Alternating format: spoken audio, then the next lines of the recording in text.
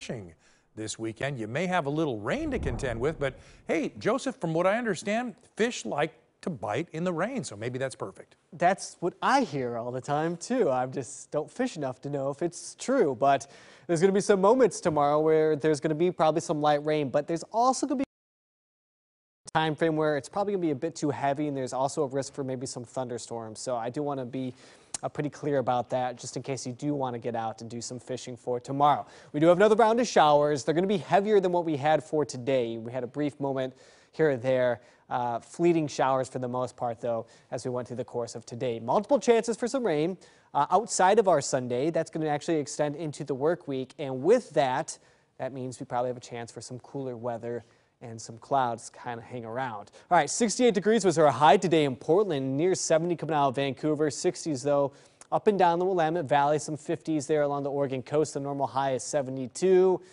We may see that once or twice in the next five days.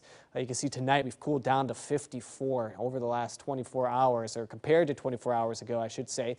It's 10 degrees cooler, so that cold air is kind of settling in. We haven't had an overnight temperature falling down to maybe the upper 40s in, in, in, quite a while because we had this stretch right here. We had this span of time where we were in the 80s and 90s, so our overnight temperatures were in the 60s. We, in fact, broke a record uh, on the first where we had a, a, morning temperature at 65 and then the afternoon temperature was at 95. All right, current conditions, as I mentioned, in the 50s. We'll see clouds increasing, so keep that uh, in mind through the overnight, but not bringing the rain just yet. There's a couple spotty showers still to the north, maybe out to the Oregon coast, uh, but they're going to be very light and they're mainly falling apart. We're watching this system right here that's still gathering and, and getting organized and moving in our direction, and that will arrive through the day tomorrow. Watch the weather pattern though. We have that little brief moment as we go into tomorrow, but then we have another trough right here diving down and it kind of hangs right off the coast as we go into Monday and Tuesday and through most of the week.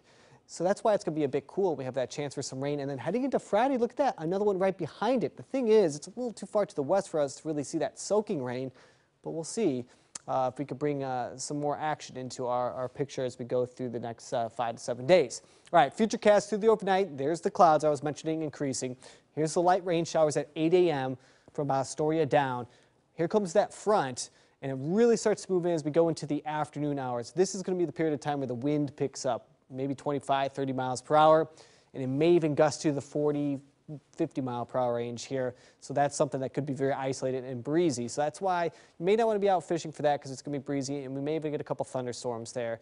We get to Monday, a couple spotty showers, and then they kind of hang on on Tuesday. As I mentioned, we have that trough there along the Oregon coast, which keeps conditions unsettled.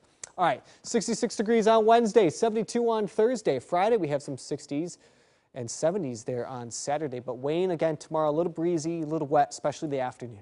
It'll be a nice change. All right. Thank you, Joseph. Well